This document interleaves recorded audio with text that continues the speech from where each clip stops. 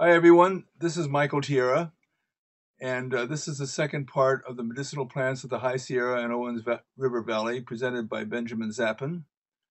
It will go for about an hour and a half, and I'd like to introduce Ben now. Uh, And uh, Ben, uh, your screen, I presume, is all set, and I'm going to transfer it to you. Okay.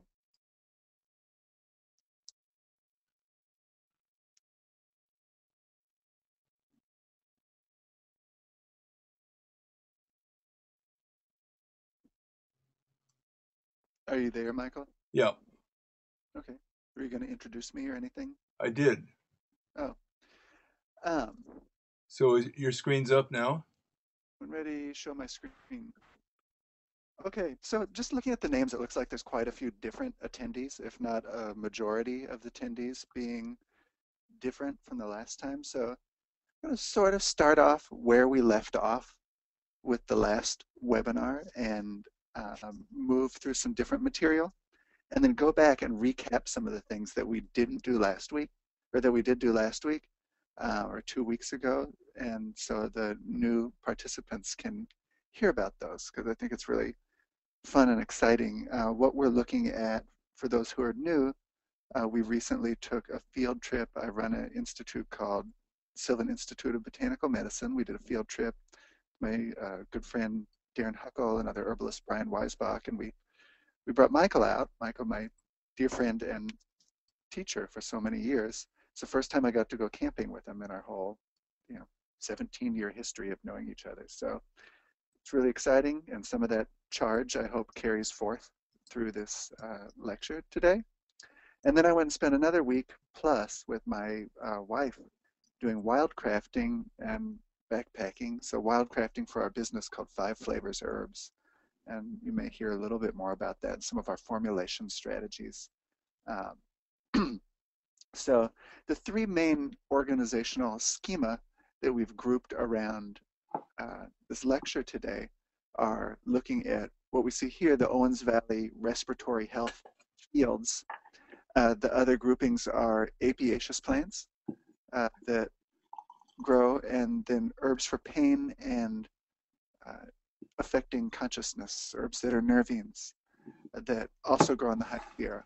So part of our trip was in the High Sierra, all above 8,500 feet, uh, a round tree line, you know, so you get to about 9,000 feet and there ceases to be any trees, or very few, and you go higher than that, and you know, it's, it's alpine, and you know, the, the flora is really remains diverse, and it's really exciting, and that's where there's a lot of uh, dramatically effective medicinal plants that I use in my clinical practice and that I use in formulation and products that we make, you know, every day.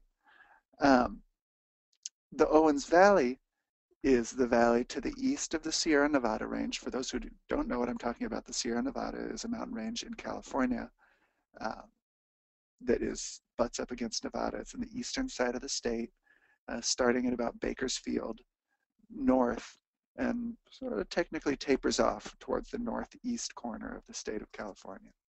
The Owens Valley is that which is uh, adjacent. It is high desert. It runs adjacent to the Mojave in the south and then just kind of increases up to high desert. Um, the drainages out of the High Sierra into the Owens Valley are particularly lush. The flora is particularly diverse um, once was the kind of heyday homelands of the Western Shoshone tribes, um, who now live on reservations out there on the east side. Uh, eastern slope uh, was also home to several Japanese internment camps. Really interesting history out there of human habitation. Most of the water is now drained from the Owens Valley into the LA Basin and read about that history in the book Cadillac Desert. Um,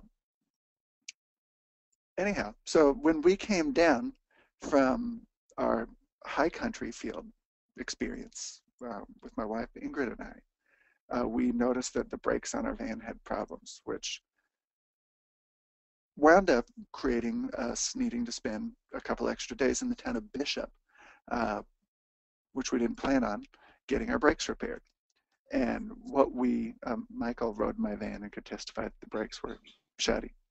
So we wound up spending quite a bit of time walking around and my disgruntlement with having to spend extra time in a, you know, a one horse town getting the brakes fixed um, was alleviated when I was walking back to the crappy hotel room we got and started to see what was around there and what these you know drainages that are used for irrigation, but you know they're really pure snow melt, glacial melt, um, are feeding you know what is what is fairly lush soil, and started to notice patterns really quickly. And you know, as I mentioned, the theme here is patterns of uh, common denominators growing uh, side by side, be it by uh, different plant families or different common uh, indications or actions that are exerted by the plants. I started to notice really quickly that, and just it was hilarious that the the common denominator here was plants that are beneficial for the respiratory system. Now there's acres and acres of fields of plants that were beneficial for the respiratory system. So I'm going to introduce uh, seven of those that I use quite a bit um, to varying degrees and we'll introduce those as I use them, introduce them as they may be used in Chinese herbal medicine, um, and we'll go from there. So without any further ado, ambrosia is a asteraceous plant in the sunflower family. It looks little nothing like a sunflower family. It probably looks more like a, um, here the specimen probably looks closer to its more closely related uh, mugworts, right, the artemisia. So this is actually Ambrosia artemisiaefolia is the name of this particular species. This is one of my favorite plants to celebrate. Um, it is a very, very profound antihistamine. And it's the herbalists that I know who like to use it say that they, and I agree with this, you know, that they wish that all the herbs that they knew of worked as quickly and efficaciously as this, as non-mysteriously. And uh, so we're, we're talking about using this for predominantly, I predominantly use it for allergic rhinitis. It can also be used for um, topical allergic conditions, topical IgE mediated, uh, that is immunoglobulin E mediated allergic responses on the skin to internally or externally, internally consumed or externally contacted allergens. Um, also useful in formulas for allergic asthma. So we're going to go through all these and then we're going to talk about some different possible combinations of these plants and things that you might combine them with. Uh, so ambrosia uh, I prepare as a tincture. We harvest the tops fresh. I here it is growing in the foreground also. Uh, you could see in seed. Um, I also use a species that grows in the desert, Ambrosia dumosa. There's a species that grows in California on the coastal bluffs that grows in this actually on sand dunes that I've used a little bit that I found equally effective. Um, you can get in commerce, you can uh, obtain, there's a couple companies that carry Ambrosia artemisiaefolia um, that grows in the Midwest around farms. If you went to the Traditions in Western Herbalism conference this last month. It was one of the predominant ground cover plants growing around the conference grounds. Uh, it works both as a decongestant, meaning that it uh, tends to dissipate uh, mucus in the sinuses. That's where it, it, tends to have a strong tropism towards the sinuses uh, for really thin, clear, runny mucus. Unlike some herbs that are effective for this, I don't find it to be too drying. Um, from a energetic perspective, I'm going to say that this is uh, acrid and slightly bitter. Now, you don't see anything that exactly corresponds to the concept of uh, seasonal allergies or um, allergic rhinitis exactly in older Chinese medical texts. It's a it's a newer construct. Um, so the herbs that alleviate wind and heat which I would say this is one of, many of them have indications for treating uh, sinus conditions, but don't quite have the potency of antihistamine effect uh, that something like this will. So I'll use it in tincture dosage of anywhere from 15 to 30 to 90 drops, uh, depending on how drying you want to be. Uh, and we'll also use it for uh, use it in formulation. So, so its actions, you know, you'll say that it clears wind, clears heat, uh, clears mucus to some degree. But really, what it's profoundly efficacious for uh, that the Chinese action types don't really address is stopping that immediate allergic response. You're allergic to cats, you're allergic to seasonal pollens, be it grass or trees, and break out in, you know, with itchy eyes and itchy nose, um, sneezing, runny nose. This will address all that. And it'll address it for the individuals for whom it will address it and reduce it. Uh, it is profoundly quick. You know that you'll you'll be noticing a responsiveness uh, to this particular herb within 30 seconds. You know, not many herbs work that fast. Not many not many drugs work this fast. And I've given this to a lot of people who've suffered from allergies for decades. And they wish they'd had arrived at it sooner.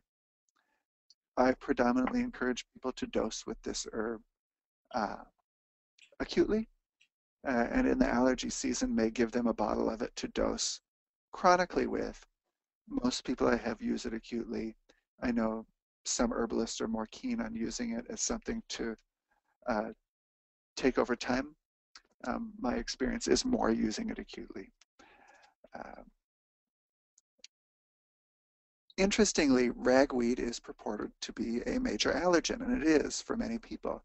Uh, I have seen very few to no people. I've, you know, in discussing this with other herbalists, very few people have reported seeing people who have ragweed or, you know, broad spread allergies to Asteraceae plants reacting to this, which is which is really interesting. You know, it is it is vilified uh, across America as a major allergen, and you know, paradoxically, not homeopathically, because we're giving a gross dosing of this plant, um, but paradoxically, uh, you know, tends to really knock out an allergic response, um, as I mentioned, to grasses, to um, trees, pets, cats, uh, dust. Um, seems, seems to work across the board. Um, what is the mechanism of action? It seems to have uh, rapidly effective anti-inflammatory properties, as well as mast cell stabilizing properties. So these, these mast cells are you know, the cells that are degranulating or opening up and releasing all these histamines uh, into the local vasculature of these regions that we tend to associate with uh, the allergic response, the eyes, the nasal passages, the sinuses, um, etc. So, Michael, have you had an opportunity to use the ambrosia that I gave you recently? You know, I had a, a patient who I was thinking of using it, and I wanted to ask you, since you've had more experience with it than I have. She said she's so uh, allergic to ragweed, supposedly, that uh, she's afraid of taking it internally. That uh, because because it, I guess I guess it, uh, it causes it causes a severe allergic reaction with her. So I don't know whether that would be appropriate to try it or not. So, well, in other words, if my, people have, if people have tested to be allergic and they're having severe, you know, allergic reactions to it, you still give it. I guess my approach to that would be to let the choice be hers, but what I believe a safe method to be would be to one, ask her the severity of her reaction. And if severe is throat closure, needing epinephrine. That's what, uh, it, that's what it was. in that case, I might skip it. um, but if somebody just had really severe upper respiratory And responses uh, she- that didn't result in risk to self.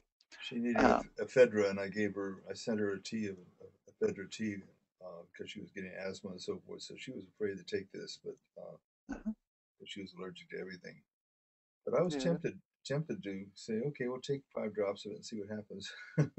Or, or start with one drop and, and Uh, have the ephedra with you. right. You know, know that you have a, a counterbalance option.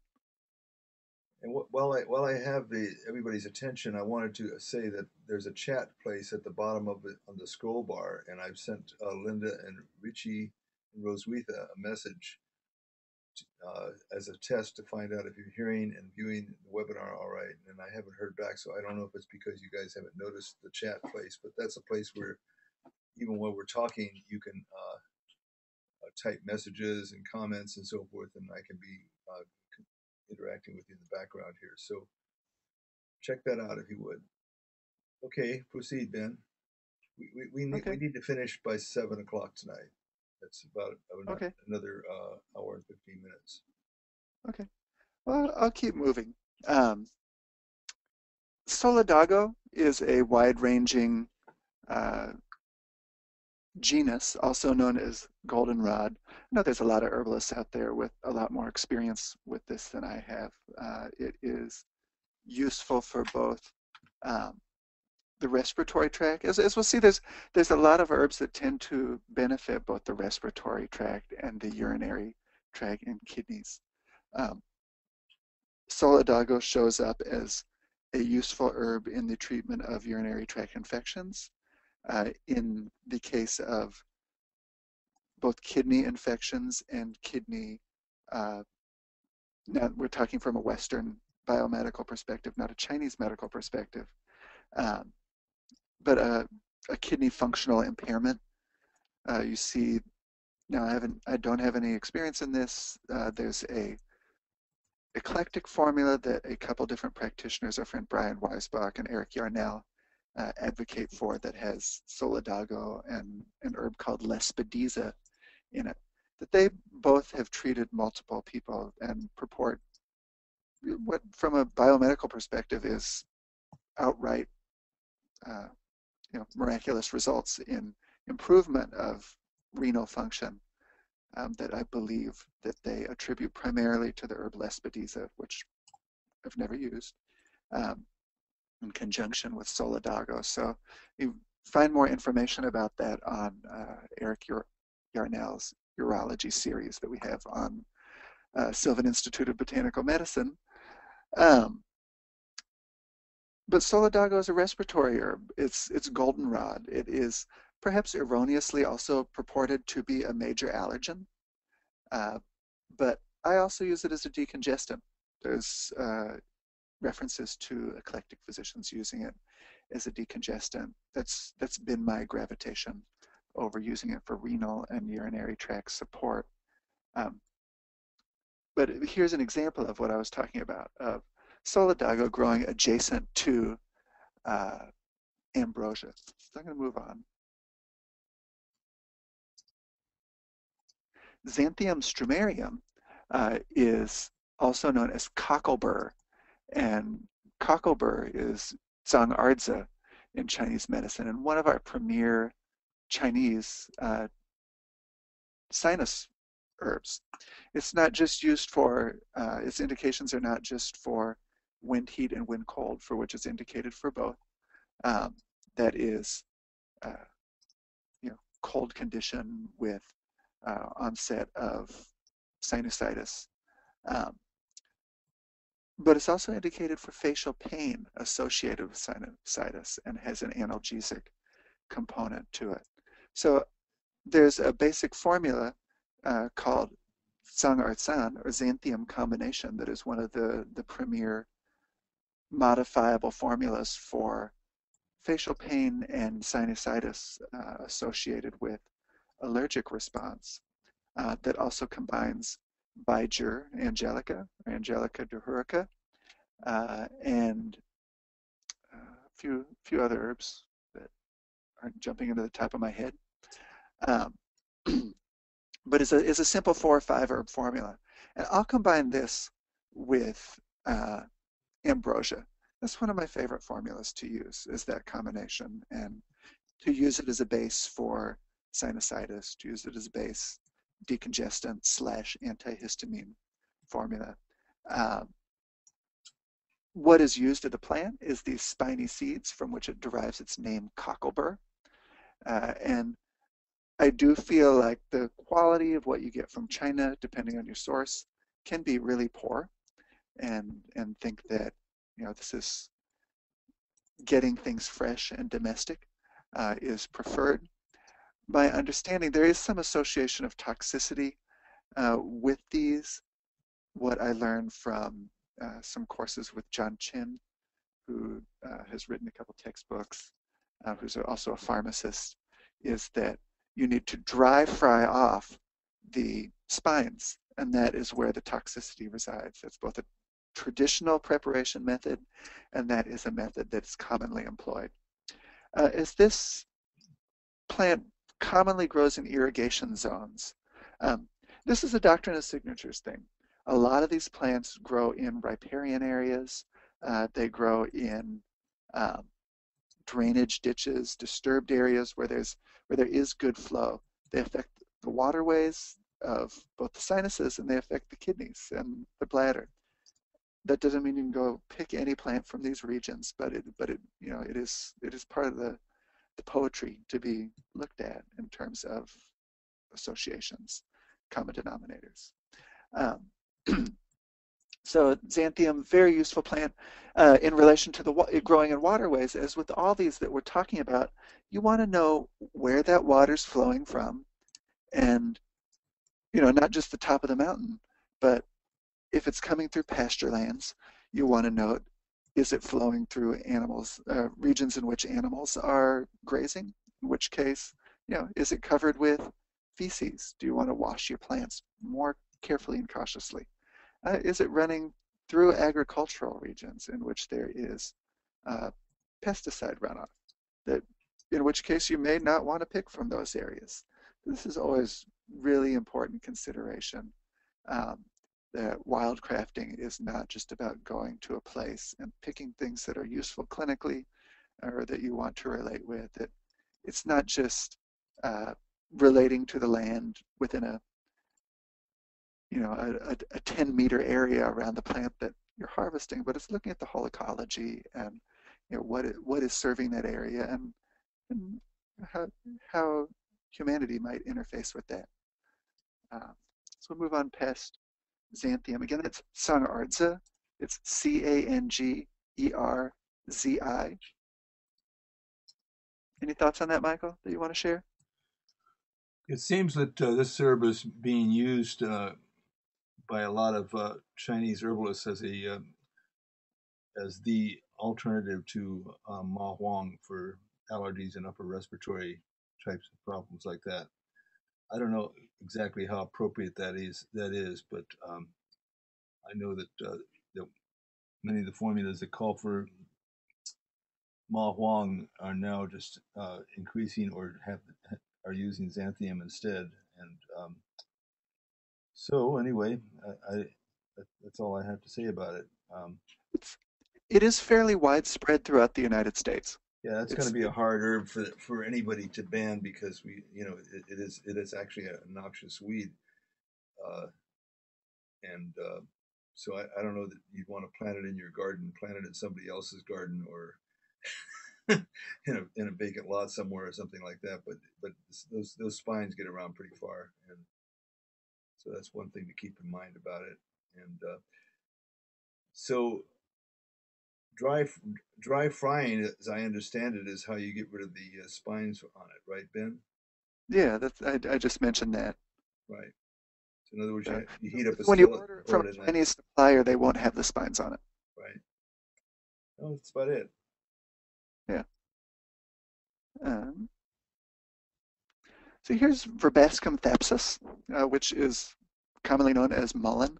Uh, this is the western gateway to the Anderson, or the eastern gateway off Highway 101 to the Anderson Valley, really nice field of mullein. Um, yeah, there's a lot, a lot to be said about this plant, and you know, multiple parts are used. People are using it as a topical anti-inflammatory. Uh, both the stalks and the flowers for mucous membranes, um, using the roots for uh, using the roots as a urinary astringent, particularly in children. I have not seen that work myself, but there are a lot of people who swear by that clinically. Have you tried um, it? Uh, I haven't. Okay. And and or if I've put it in formula, it's it's out of a good faith gesture. Right. It's, it's one, one, of those things when the root you know, the root is so substantial to mullein everybody's really tempted to really believe that it has some great properties and i guess it does but i I've, i don't know what they are. Well urinary astringent in children is uh, i believe there is a christa Sinadinos is a humboldt county herbalist who has a write-up on it um, that you know really weighs Christa? weighs all the literature on it. Christa Sinadinos C H R I S T. Yeah, S A. I'll I'll uh, type it out in a bit. Okay. Uh, but she is a student of Michael Moore's, and he is actually who started teaching that. Uh, the root, I remember, Michael, remember when uh, American School you brought in Rena White Star to do some teaching? I think so. It's a long time Native ago. American, Native American woman, 1995. Uh-huh. Oh, right, I remember, yeah if you can remember 1995, you weren't really there, right? Um, anyway, she she taught that you could burn part of a dried mullein root and inhale the smoke through your nostrils to treat sinus infections. And I've tried that a few times. And uh, if you don't enjoy breathing hot particulate matter in your nostrils or any part of your body, don't start. Um, but it was you know, it, was interesting to, and it's the only time since then that I've really seen somebody advocate for a smoke inhalant um, into the sinuses. But it, but it worked. I tried it. Um, anyhow, the of course the leaves are what is popularly used with mullein, and I think most of our audience probably knows about this. Um, I just want to address it as, you know, from a Chinese East-West perspective, uh, because there there is some doubt out there. You know, the, the question comes to what are our supplementing herbs? What are our tonifying herbs in the West? You know, and that that is what is heralded as so unique and great about Chinese herbal medical culture is that well they have they have a better history of these supplementing herbs and and that's where Western herbalists are looking for their supplementing herbs uh, is the um, you know the Chinese repertoire. And to a large degree, I still agree with that. But mullein uh, is such a substantial, I believe, lung qi and yin tonic uh, in its ability to both upregulate function of the lungs uh, in a way that doesn't create dependency and facilitate healing of the tissue uh, of the lungs. Um, that you know, I, th I think it's indispensable as a as a sub supplementing herb, and thus I use it as such. Uh, so excellent for, you know, really uh, quite a, quite a wide array of conditions. But we're talking about uh, recovery from colds and flus, um, for support and sustenance in individuals who've recovered from smoking, individuals with lung cancer. Uh, we'll talk a bit about whooping cough when we get to Grindelia, um, tuberculosis, you know, it's it's not curative by any means, but is a really useful long-term adjunct, a safe long-term therapeutic adjunct uh, to supporting uh, a number of respiratory conditions. Uh, I tend to make fairly, I don't want to say watered down, but uh, low alcohol concentration tinctures of this uh, and or give it to people to take as tea. As you know, the hairs can irritate the esophagus and mouth, so you want to prepare the tea in a muslin bag. Um, I'll dose it fairly high. This is something that you know you can you can dose low, but because there is little to no toxicity, um, starting to consider some of our Western herbs that have reputations in you know, being used in teaspoon dosages or tablespoon dosages, start looking at inclusion of them in uh, concert with Chinese decoction therapy, or in the case with this, possibly steeping it at the end of a decoction, adding in the last minute or two of the decoction process, you know, in doses of 12 to 18 grams. Uh, and I strongly believe that there's a greater medicinal effect to be derived from the inclusion of this. Uh, and you will see people's energy levels pick up and you will see more rapid recovery uh, of uh, people's health. Think of including it, look at a formula, a Chinese formula like Sheng Mai San, you know, which has uh, Maimendong or Ophiopogon, Wu Weizi or Schizandra, and ginseng, all of which nourish and protect the fluids of the stomach, the heart, the lungs, and support the spleen. Uh, I think you know, this, this could find expression in conjunction with that formula or as a tincture along with that formula uh, in its role for definitely nourishing this, the lungs, if not also the stomach, um, and facilitating recovery of vitality. Okay. I had a patient. I had a patient uh, with severe emphysema, and uh, the most effective herbal combination I gave him was mullein, comfrey, uh, leaf, yerba santa, and wild cherry bark, made as a strong tea, which he drank two or three times a day, and uh, he was able to get get around, and his emphysema was at least uh, 80, 80, 85 percent relieved by by just taking that that tea regularly. Um, what yeah. what else was in that, Michael? Repeat Com- that, please. Mullein, comfrey, uh-huh uh, yerba santa, and wild cherry bark. That's actually uh, energetic set aside. The only difference I would make is if I wanted to warm this up, I'd add some fresh ginger to it. So, um, and I might also add a, a, small amount of lobelia inflata, like like a quarter part or something like that. But uh, this tea is very is very effective for uh, a patient with emphysema, and, and severe shortness of breath when he was walking. And this helped him tremendously. I had a quick, was that recent? Was that recently? No, this was uh, many years ago. Many years ago, over 20 years ago. I remember very well uh-huh. because of that. And um, the other thing I wanted to say about mullein is that its pain relieving properties are very much uh, underestimated. It, it, it is definitely analgesic topically applied, I think it's one of the one of the reasons why mullein flower oil is used to relieve earaches and things of that nature. I don't know that uh, it's as effective as a treatment for the ears as uh, just using straight echinacea tincture, a few drops in both ears. Um, find that that works really well for relieving uh, even children's earaches. And uh, many people may feel reluctant to put tinctures in the ears, but remember that's the treatment for swimmer's ears to dry out the eardrum.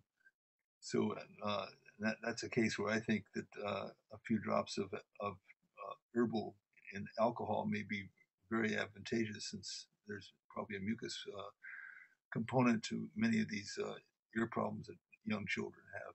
So at least uh, the mullein flower is oftentimes made with olive oil, and I think it's because of the soothing aspect. But I don't know that, uh, that how curative it is, and if it is, you better make it very strong. That's all I can say. And uh, so anyway, that's that's what I got to say about mullein. Um, its pain relieving properties, and it's and it goes in Dr. Christopher's bone, flesh, and cartilage mixture, hmm. along with comfrey and other things that he uses as a ferment as a, as a fomentation for healing broken bones and and and uh, injuries and so forth. So there's a, there is a, a, a, uh, a, tradition among Western herbalists the use of mullein for uh, as, a, as an adjunctive herb for healing and treating uh, injuries and broken bones and, and, and sprains and things of that nature. That's fantastic. Um, another underutilized herb that I've really been in love with. This is so. This is looking from Bishop uh, out uh, from Highway 395 uh, out towards the Eastern Sierra, right up here in the background. Uh, it's very dramatic. So this is the biggest field of Grindelia I've ever seen, and I was just ecstatic. Where is this? The Bishop, uh-huh, which Bishop, is on 395. Do you know where Mammoth is? Yeah. You know where Tioga Road comes over to Lee Vining um, Right. through Yosemite, and then you drop south about 50 miles into Bishop. Mhm. Uh, so, you know, found a multi-acre field of Grindelia, and I was just beaming. And you know, the first thing that I think of is I'm going to be able to subsidize our uh, repairs on our car, you know, because I, I know what herbs I go through a lot, and you know, although it's not going to turn inst- into instant money, I know that when I wildcraft, it's going to turn into money because I know I'm going to use all that in a year. I was like, oh, we're going to, on our walk from our crappy hotel to uh, the auto mechanic, we're going to pay for our car repairs. Um, so it it does it is a painstaking thing to harvest, and uh, is optimally harvested at the time eh, a few minutes before we found it when these buds. This is also in the Asteraceae or uh, sunflower family. Um, when these buds are producing a sticky, milky resin um, that you can't quite see here. Uh, there's a really nice picture of it in uh, Thomas Garran's Western Herbs According to Traditional Chinese Medicine book has a nice feature, the inclusion of this. So this has been used uh, by the eclectics. It first showed up in um, pharmacy texts in 1875 and really gained notoriety and was a, a kind of a plant of favor um, amongst Western herbalists uh, uh, in the U.S. National Formulary, etc., um, as predominantly as a respiratory antispasmodic and as a upper respiratory decongestant. And and it's it works on a couple levels. And I think to describe it um, simply as a respiratory antispasmodic is is to limit it. I think this is really a pure gentle expectorant. I think it's our most gentle expectorant. And expectorant is a term that tends to get bounced around to refer to, you know, quote unquote, anything that has to do with the lungs is an expectorant. But really to to expectorate means to spit up and it's it means to get that stuff up rather than just to clear mucus from the lungs.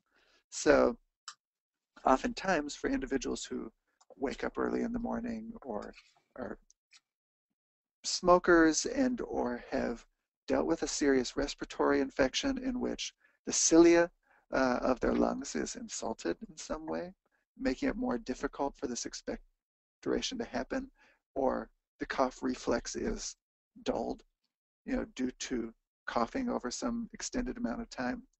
Uh, this this will make that individual who has respiratory suppression happy, and for the individual who has a hyperactive uh, respiratory response who is hacking, this will settle down that hacking and produce a more effective and efficient expectoration. You know, so if you know somebody who gets up and hacks every morning and they're suffering, you know, they're they're really suffering, this may be a useful single herb. Um, and we're going to talk about common combinations. Uh, maybe a useful single herb to to facilitate a more meaningful expectoration while calming and sedating that hyperactive reflex of a cough that's trying to get this thing obstructing uh, the air passages up and out. It also tends to um, dissolve mucus. I really think this is also working on, you know, the stomach and the spleen level of helping to uh, decongest. It can be useful in the treatment of both hot and cold phlegm. Um, I think it works more, you know, like I said, in the spleen stomach axis, uh, which is the source of phlegm, and then also facilitating clearance from the lungs, but not particularly from the sinuses. Uh, so I use this in formulas for asthmatics, uh, along with all the herbs that Michael's been mentioning. uh, the mullein, the yerba santa, wild cherry bark, um, lobelia inflata. I think they work as a really good complement. Uh, I've had some opportunities to treat uh, the resurgence of whooping cough, which um, you know is a whole big immunological conversation about why it's happening because contrary to you know popular rhetoric, it's not just happening in pockets in which there uh, is under immunization. It is happening to uh, individuals who have been immunized. The reasons for that are pretty clearly understood uh, due to inadequate boosters, etc. Uh, but anyway, so I have been called upon to treat some individuals with whooping cough, small children. Uh, and when I first moved here to Oakland, my friend called and said, oh, this this friend of ours, you know, they, they have whooping cough. Can you help? What do you have? And the mom your phone number. And this woman really anxiously called me and said, I've heard you could help me. You know, down, we can't leave the house. Can you bring something over? So, so I show up and the CDC is leaving in, you know, their their ET suits. You know, their like their, their suits, decontamination suits. That is the Center for Disease Control, and you know that's treating it like a quarantine si situation, um, responding to you know what has been tested to be pertussis or whooping cough, and know I, I meet the mom at the door. I meet the kid. The kid's okay. I hear the cough. Uh, it the kid doesn't look terrible, but I hear the cough and it sounds pretty bad. Um, give her the medicines, and the next day, uh, she calls me to thank me and said he got a good night's sleep. You know, we didn't use any of the drugs that they gave us because really it's a watch and wait kind of thing. It's something that has a its own course that it runs, uh, and and or maybe they yeah. Um, so you know, she, she she's like, by the way, who are you? What what do you do? She she didn't really question my credentials. She just friend of a friend said I could help, and I showed up with some some herbs. There there was a simple blend like this of what we just mentioned of you know lobelia and grindelia, wild cherry, yerba santa. Um, Grindelia and yerba santa have a really long history of being used in conjunction with each other by Native Americans, by the eclectic physicians, uh, by some contemporary herbalists for the same upper respiratory conditions, for treating phlegm, I believe, at the, the source, that is the digestive system, um, which is you know very very common denominator notion throughout different traditional medical systems, not just Chinese medicine. Uh, being able to clear respiratory phlegm that is both cold and hot. If the phlegm is hotter, I might use, uh, you know, one, I might use some demulcents in conjunction with uh, either Huang Qin or Scutellaria baicalensis, or possibly um, golden seal, something like that, uh, to, to cool off that hot phlegm. Um, they are used for urinary tract infections. The secondary metabolites of both these herbs uh, are used uh, to treat infections. You know, to I, I don't know the exact biochemical mechanism of action, but they do have a strong history of being used internally as tinctures. They're both strongly resinous herbs and thus better extracted in alcohol than they are as tea. Um, they are also used topically for the treatment of poison oak, uh, topically and internally. Now, our uh, friend, colleague Brian Weissbuch, who uh, taught on this trip with us, says he will use these two herbs uh, in children with allergic, um, hyperallergic responses, any kind of IgE mediated responses, including shellfish allergies, if they're breaking out in hives uh, while drinking breast milk due to allergic reactions to substances that the mom is ingesting, um, and not just environmental allergies, he'll use these two herbs and feels like that does create a cure. He told us that this summer. I haven't had an opportunity to um, see that work, but he really has, has 40 years experience and I think it's worth giving a shot if you don't have another solution. So that is using Grindelia and Yerba Santa to clear heat, um, you know, that is expressing itself as wind heat type rashes on the skin. Uh, so really dynamic plant for topical internal use. Uh, I could say a lot more about poison oak treatment, particularly with this. Um, but remember the skin is you know, considered in Chinese medicine an extension of the lungs uh, to a large degree. And you know, other traditional medical systems tend to find agreement in that. So it does make sense that you can clear heat through the skin um, that's also affecting the lungs, which is also the, you know, an extension of the immune system that's being expressed when we look at uh, what is the Wei Qi in Chinese medicine.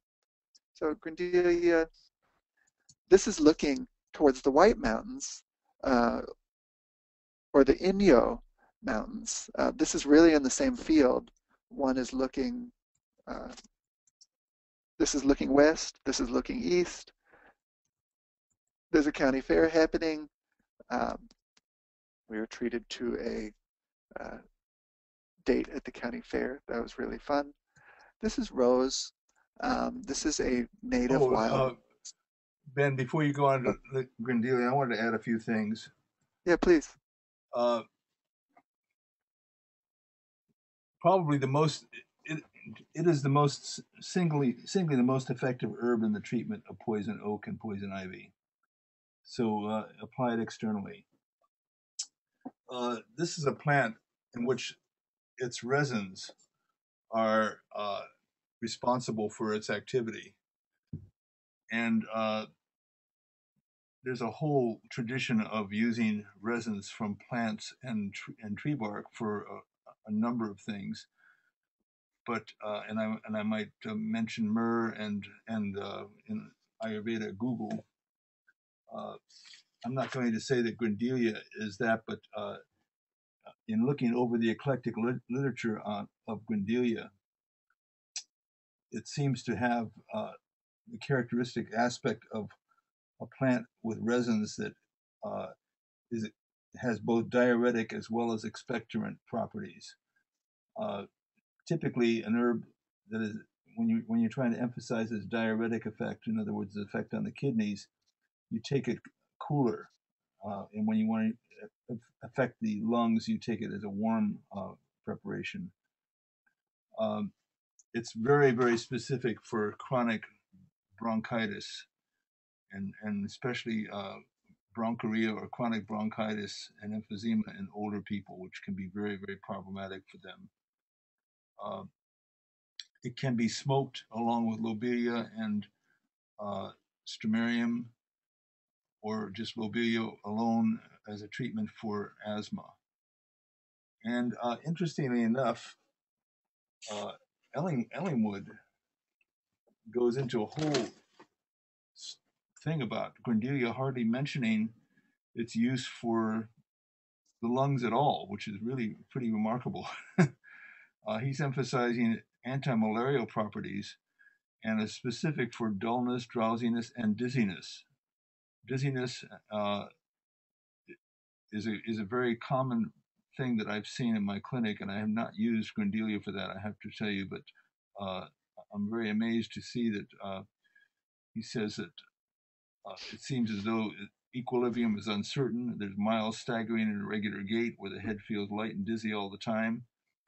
Uh, so this sounds like it has a has a, a much much much wider use than than most of us uh, who have been using it uh, can see, and, and that's based on the eclectics who were hundreds of different practitioners all over the country using it. And interestingly, one of the pathomechanisms uh, in Chinese medicine that might look like that picture is one of phlegm damp, you know, or phlegm room.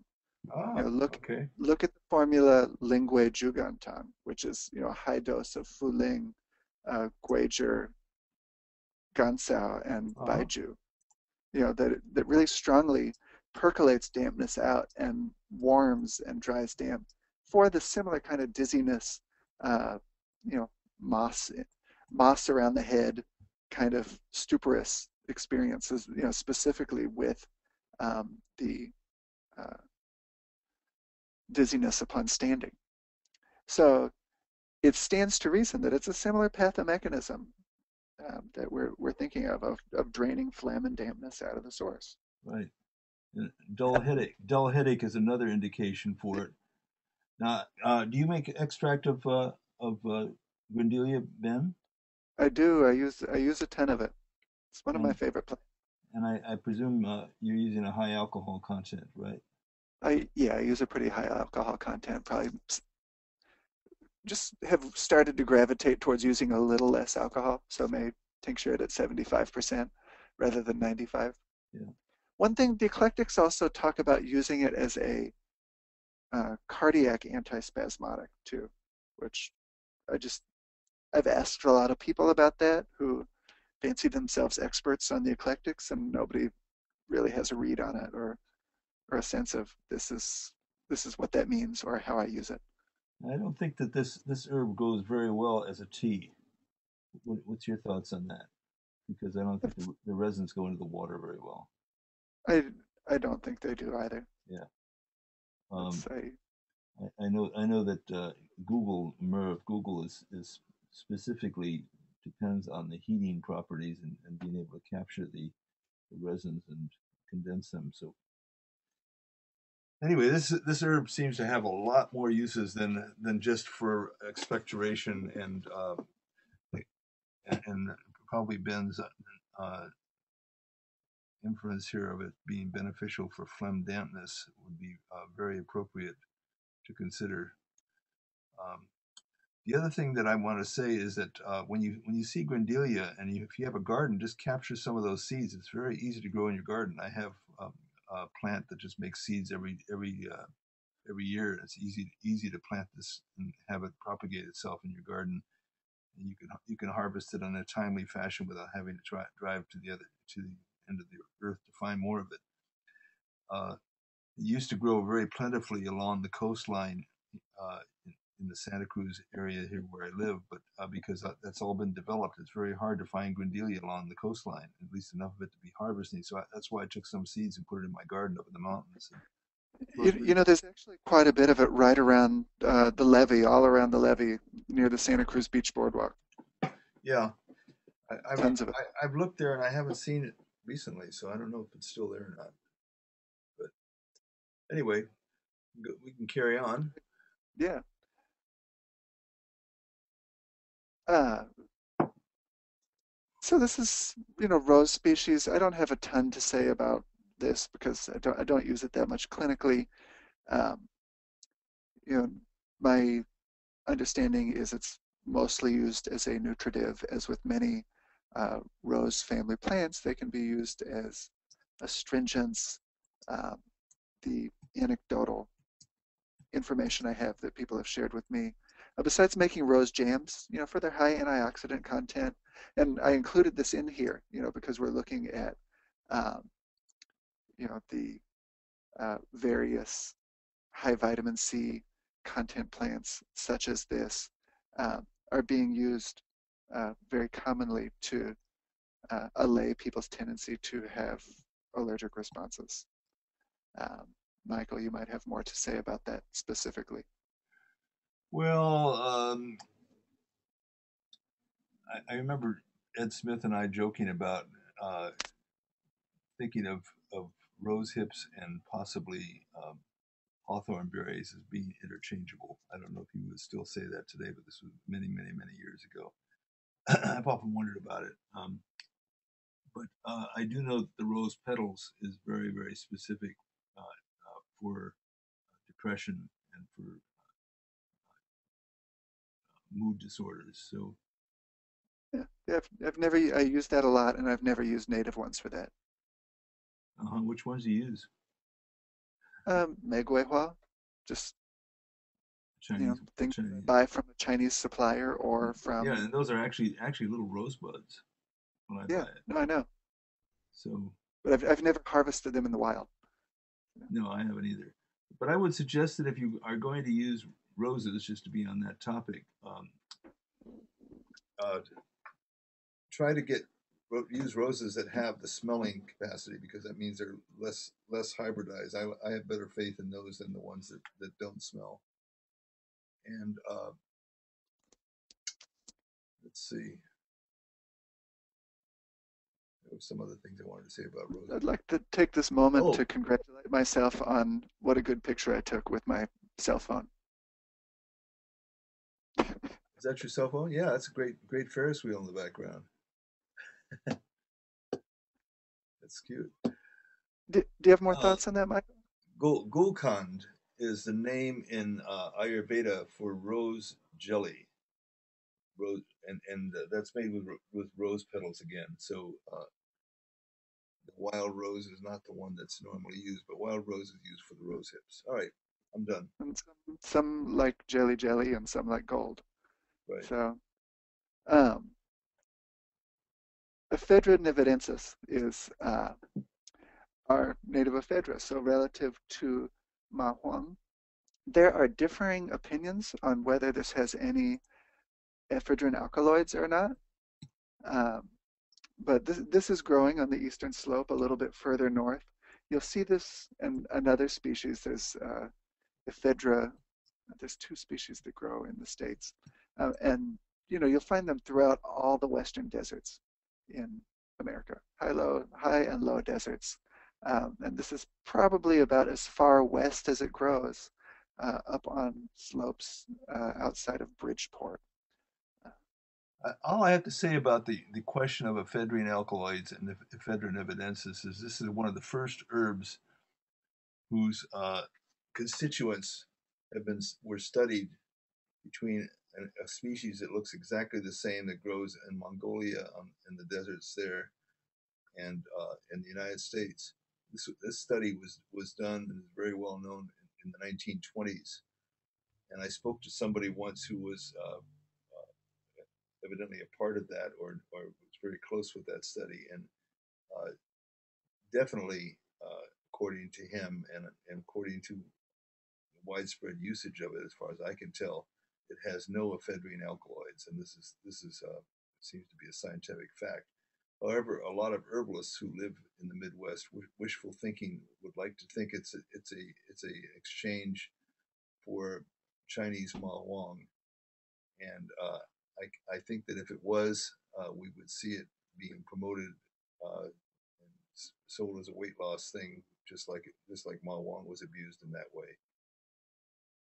So let me uh, tell you that Ma Huang is available in in bulk, I believe, from Chinese uh, uh, distributors. But uh, a better thing to do is if you're living anywhere in the area where you can grow it, and I, I can I can grow it to a limited extent where I am here in the Santa Cruz Mountains, get some plants and start growing it because it, this is the, the most important herb uh, by far for all asthmatic and upper respiratory conditions. Uh, losing Ma Huang in the Chinese Materia Medica is like losing one of the one of the keys in the middle of the keyboard of a piano and trying to play a, a, a major concerto with it. Uh, if you don't have your Materia Medica represented with certain key herbs like Ma Huang, then you have a serious hole in it. And so uh, that leaves that, that begs the question of what is ephedra nevadensis used for um, besides Mormon tea and a, and a pleasant mid- Midwestern. Um. I I will use it as an uh, one. I'll definitely use it as a uh, decongestant. Yeah, I do not think it has the very strong um, exterior releasing properties that ephedra sinica has, uh, nor the very strong adrenergic response that the ephedra produces. And uh, so it doesn't have the same bronchodilating response that uh, ephedra sinensis does, um, which, by the way, does work really well as a tincture. Uh, so, you know, if you can get some Ma Huang, you might deliver some aspects of its kind of profile of use uh, as a tincture. Um, what else do we use this for? So what else is ephedra used for? But also, uh, it's a strong diuretic. and is also used for arthritic conditions in which there is onset of, you know, strong onset of wind damp. So there is, you know, kind of a, a wind-water pattern where somebody suddenly takes on edema. And that's what you see in the Shanghanlun uh, ephedra used for. You know, that's what you wind see. dampness. That's what it's used for in the Midwest, arthritic rheumatic conditions. Uh-huh. Um, well, in China, that's what it's used for. Um, is Right. is rapid onset acute edema. You know, so it's called a wind-water pattern. Uh, and you'll see these same. We we mentioned the Linggui Zhugan formula. You know, you'll see these Atractylodes, Poria. Um, I think uh, Yuebi tongue is is a similar cluster of Fuling or Poria, uh. Um, oh, what else is in that? Anyhow, so so it's these strong dampness draining, dampness percolating herbs along with ephedra used to further drain dampness out of the body. So it's it's not only being used for respiratory congestion or asthmatic scenarios. It's being used as a strong diuretic um, to eliminate rapid onset of water in the body. When you look at yeah, traditional, both Native American and um, eclectic uses of some of these plants, it's similarly being used for arthritic conditions. You know, so for um, you know, quote unquote, rheumatic conditions uh, in which there is you know, edema and swelling uh, in the interstices needs to be eliminated. So that's you know that's a historical perspective. That's that's something I've used this a lot for. I have used it as a decongestant, given it to people for tea as tea, um, you know, for which it is efficacious. It's a I delicious not- tea.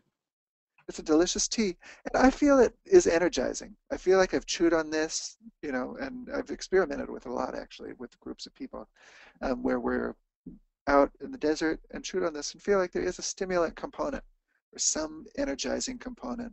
It is called Mormon tea, you know, because it was consumed on a regular basis by settlers uh, out west.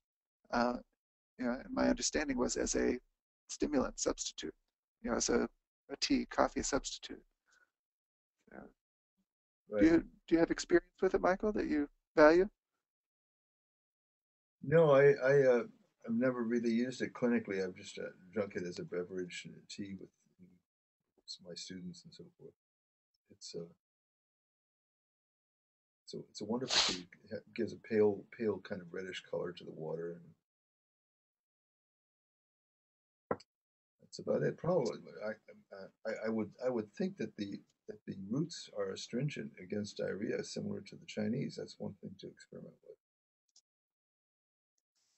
Ah, yeah. So for diarrhea. so yeah, for those of you over, astringent to the skin, Mhm.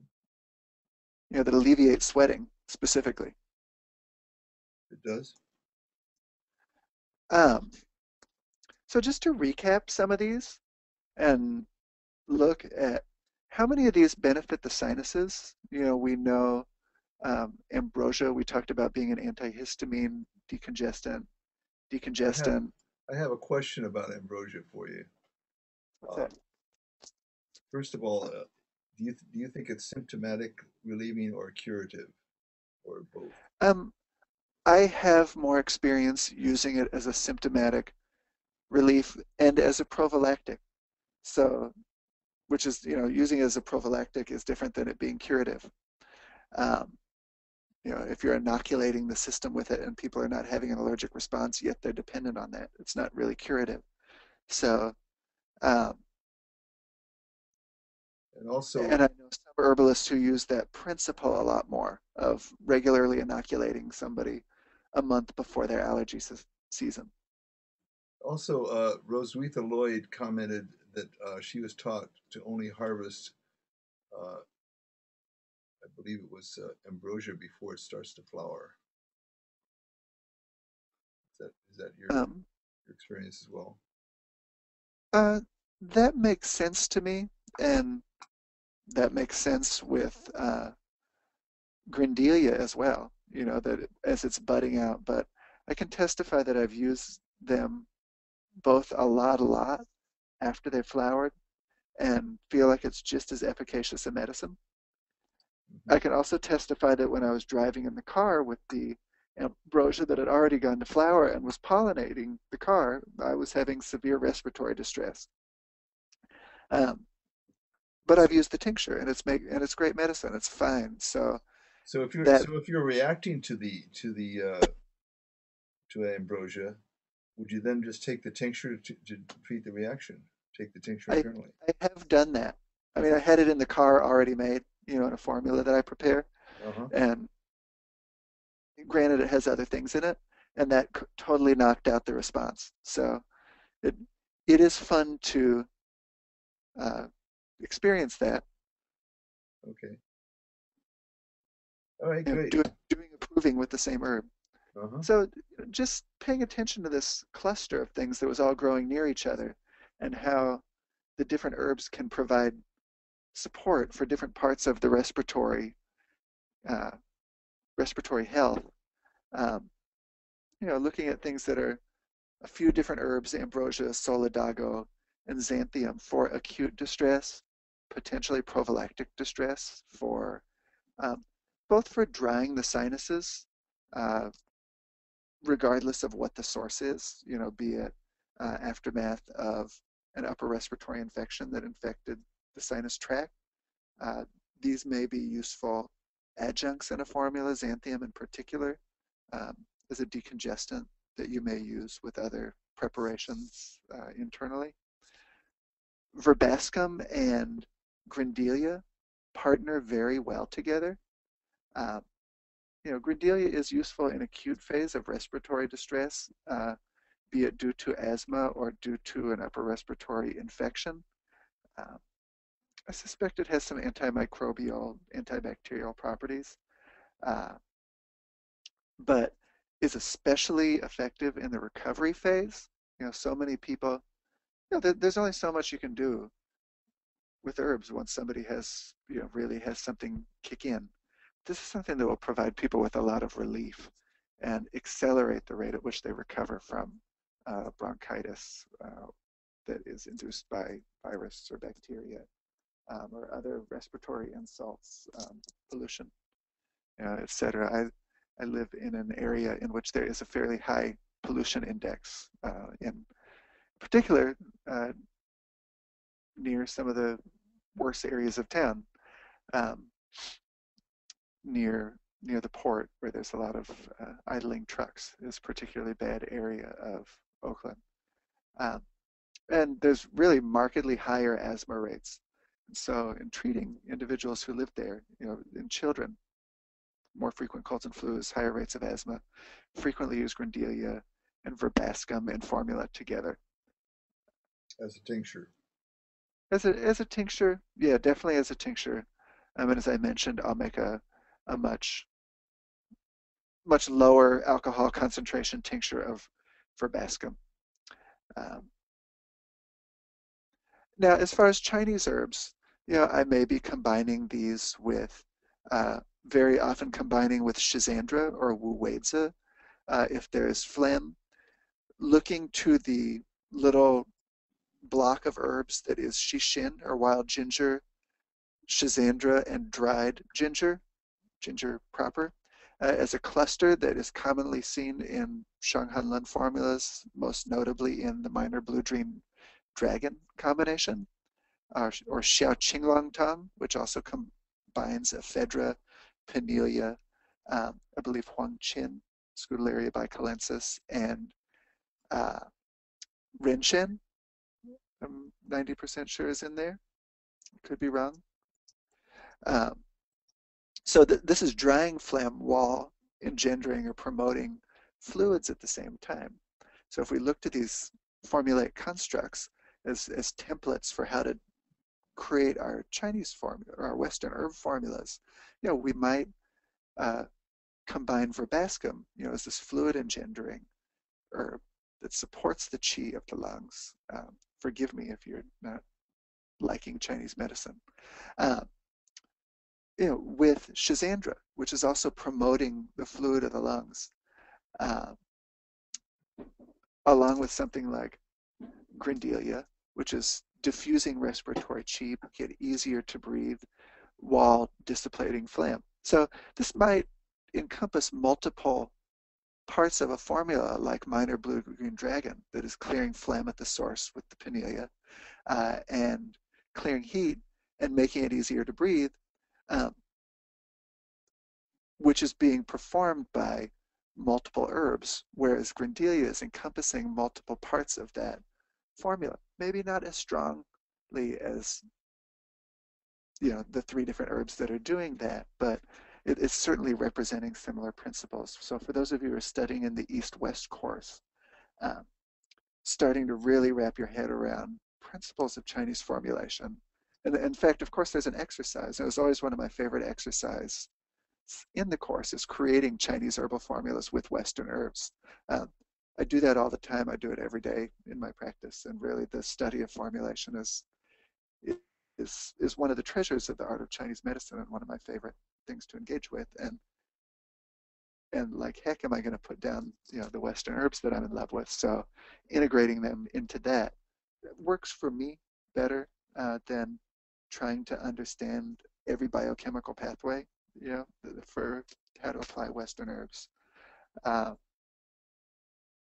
so, Michael, thank you for for turning me onto that notion via your course of you know implementing these into those uh, formulaic architectures. It's very, it's a very fun activity.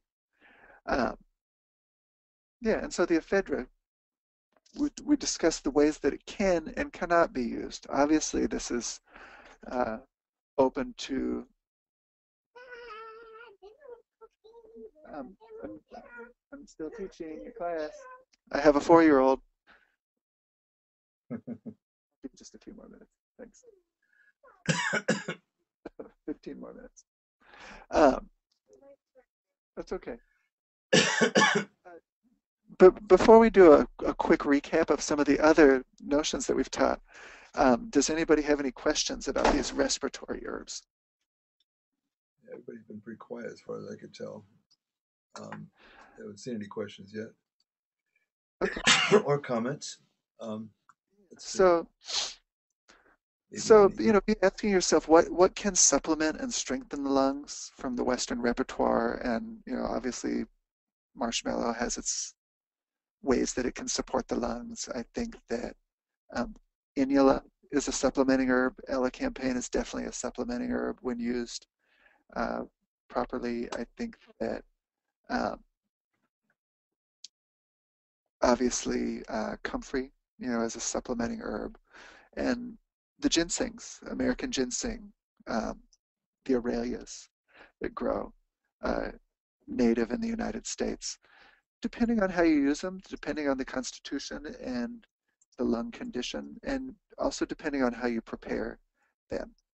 You know, so there's a tradition in making herbs more supplementing, uh, herbs that are potentially drying, making them more supplementing uh, by dry frying them in, and cooking them in honey.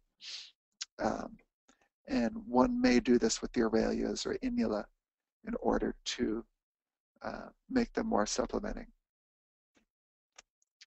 Have any more thoughts, Michael? No. Uh, do you have more herbs to talk about, or should you go? Should we just recap the ones that we talked about in the first seminar?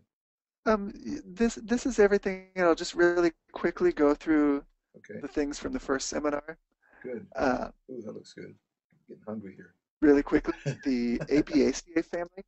So this is all back to the High Sierra, and we've, we've really had a glorious trip, and I know that East West, in conjunction with uh, me and our cohort, Sylvan Institute, etc. Um, well, we'll do a, a, quick little plug here. Um, Sylvan Institute of Botanical Medicine, Sylvan Botanical. Check us out you know, we offer courses online and then also coordinate doing field classes, mainly in the West Coast with uh, friends and herbalists, and it's a really great opportunity to have more fellowships with other herbalists. It's like a it's like an intimate herb conference, and you know we usually have have quite a few really stellar herbalists out there who who really do use these plants clinically all the time, um, and we we cook for you. Uh, that's fun.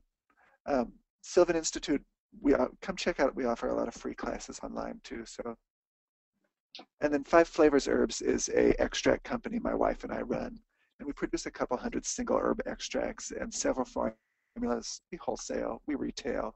Um, please take the time to look through this, and if you have questions about anything, um, it's it's all tinctures and a few oils and salves that we're we really put our heart and soul into this. My we, we have a family. My wife's in medical school, and we spend all our vacation time wildcrafting. Uh, so uh, this is like our ongoing, highly evolved bake sale that our family does together. Um, See, Emily Snelling has a good question. Uh, she said, should yerba santa be tinctured fresh or dried? And she said she grew a, a bit this year and will be harvesting drying it this week. Uh, I, am I'm wondering if you can cultivate your yerba santa also. Yeah, it, it actually can get instated uh, in someplace really nicely, and you can grow yerba santa. I know, uh, I know that Christopher was actually coordinating with uh, some German scientists who are propagating it in uh, Arizona. So, so how, yeah, how, how, would you grow it? Would you just take the plant, just transplant it? Because I, I yeah, it seems like the plants I, I died back. Santa Cruz. You know, I grew some on Lance and Mary's property in Santa Cruz, and it did okay.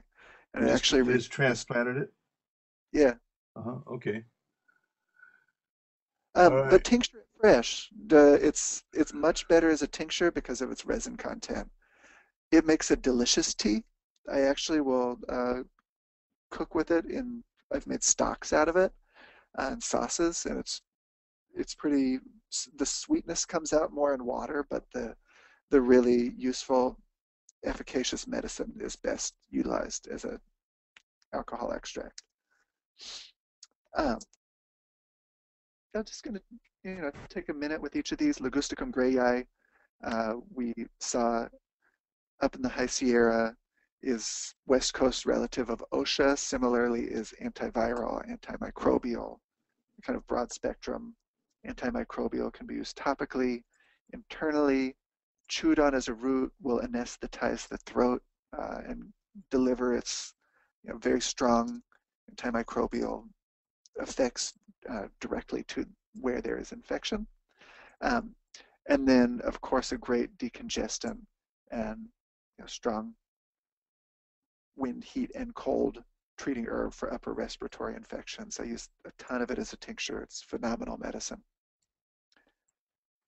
Uh, here's a picture of Ligusticum grayi growing adjacent to Anemone drummondii, uh, looking up skyward. Uh,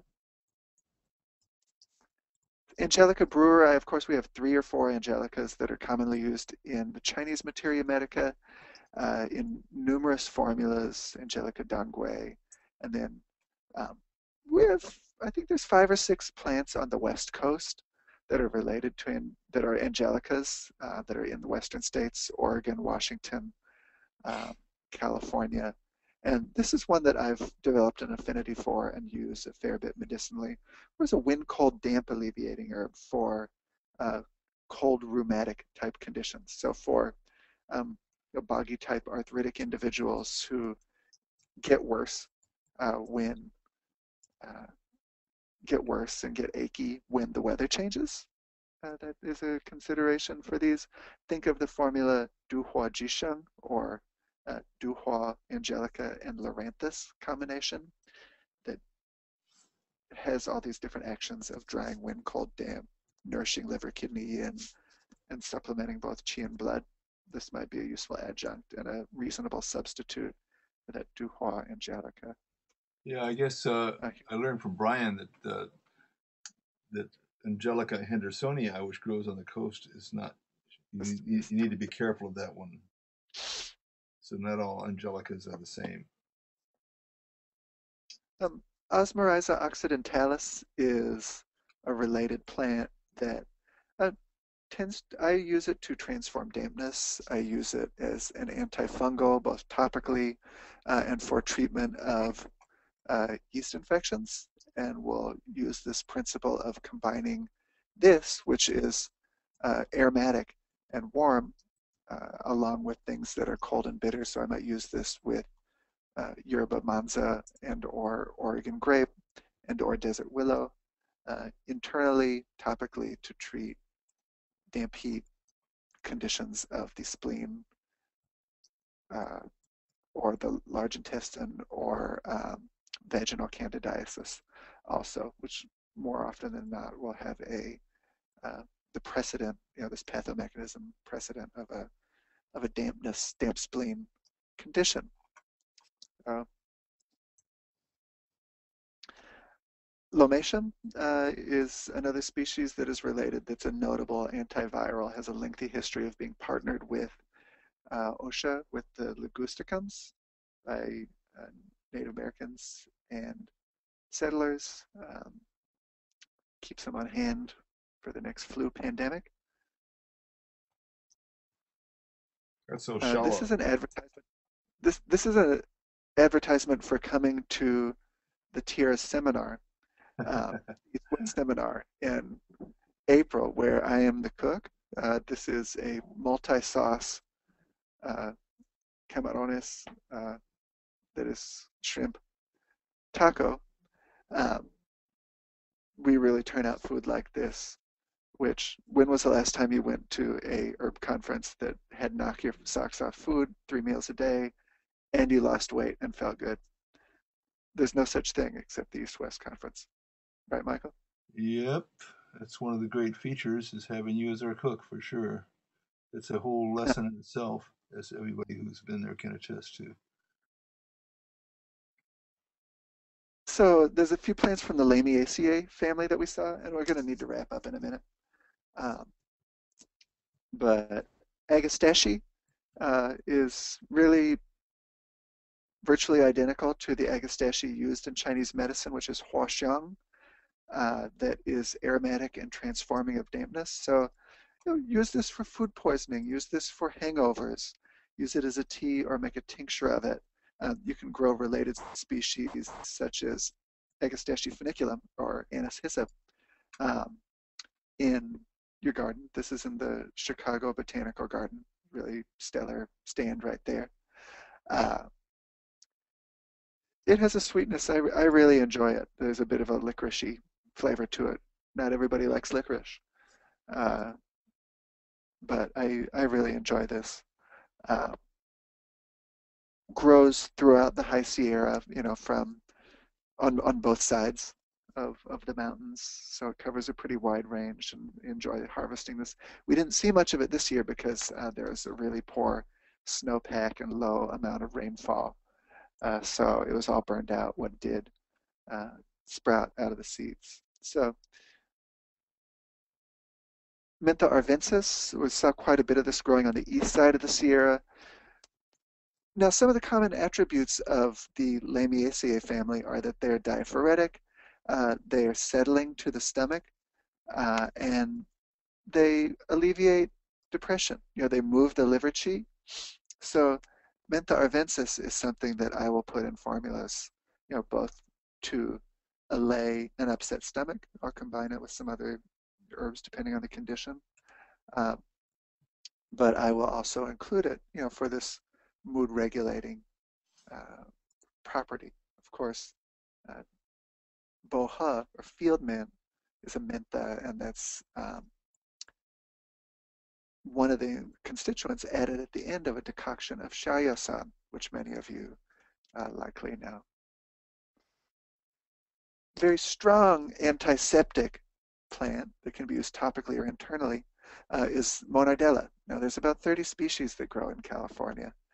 Um, and I was not keen on trying to key them out, but uh, it's a highly useful plant and can be used in tincture or as a tea um, for everything from upset stomachs to respiratory infections.